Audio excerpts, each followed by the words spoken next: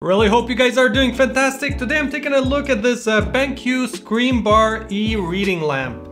Uh, you're probably asking what is this good for? Uh, when I'm looking at my screen I'm not really like reading anything but it does help um, especially if you're like in a dark environment and uh, you're looking at your screen for a couple of hours or if you're working definitely helps out if you have a light there. And this has like auto dimming and all those cool features we're gonna take a look at after. So let's go ahead and unbox this and see what we have inside.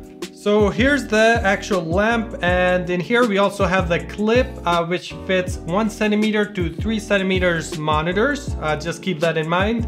And also some writing here on the box. So manual dimmer, uh, lamp, it tells you everything where everything is here.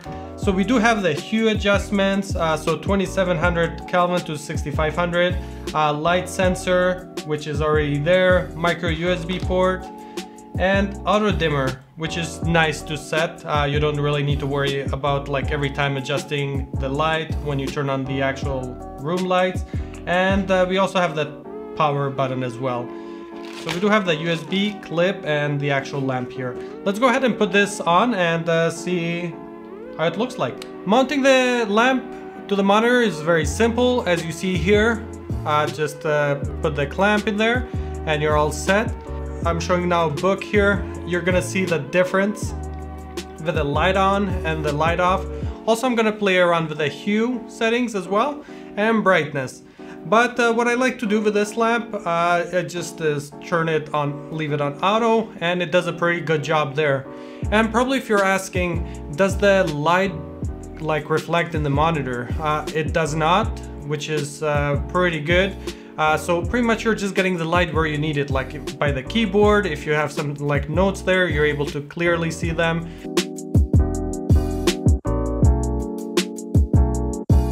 Something like this, a light on top of your monitor.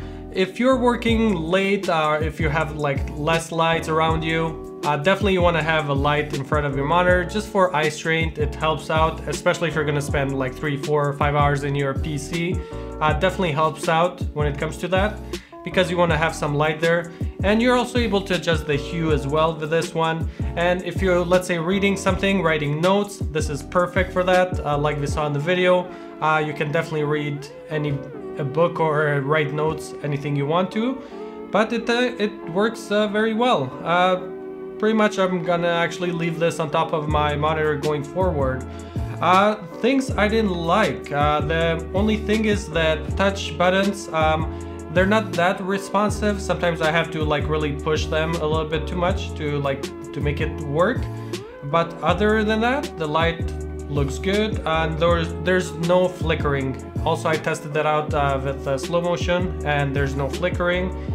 Uh, that's the good part as well. Really hope you guys enjoyed this video. Go ahead and leave a like if you guys enjoyed the video. If not, thumbs down. Also, if you're new here, go ahead and click that subscribe button and turn your notifications on. So I'll see you guys on the next review.